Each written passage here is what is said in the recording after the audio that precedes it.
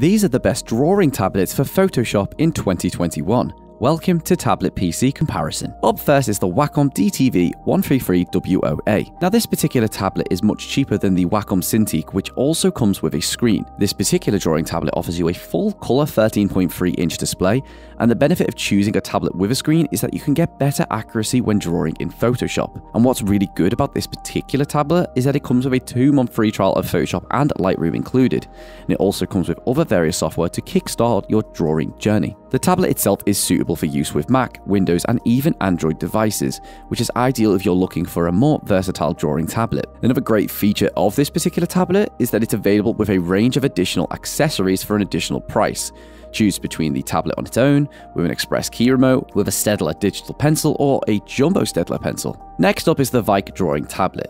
If you're looking for a more affordable alternative to the fancy Wacom tablets, then the VEIKK drawing tablet is the perfect choice. Just because it doesn't come with a massive price tag doesn't mean it's not a great choice for beginners who want to get started with digital drawing. This tablet features an impressive 10 by 6 inch active area, making it a worthy competitor to some of the smaller, more expensive branded tablet. And what's really good about this drawing tablet is that it comes with all the accessories you need for drawing in Photoshop. It includes the drawing pen, which comes with 8192 levels of pressure sensitivity, and the pen is battery free too, making it easier to use and this tablet also includes replacement nibs for the pen as well as an artist's glove. You can also choose between three colours of the tablet, choosing between blue, grey or red, and this tablet also features 12 customizable shortcut keys to make it just that much easier to use.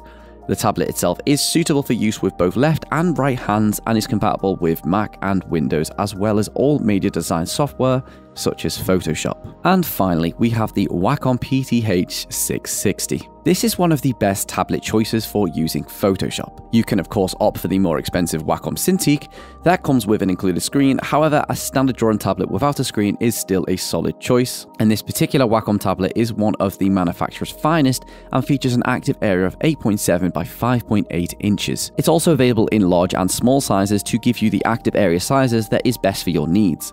The tablet is suitable for use with both Mac and Windows computers, and it also comes with radial menus, programmable express keys, and side switches on the pen. You'll get everything you need for digital drawing with this tablet.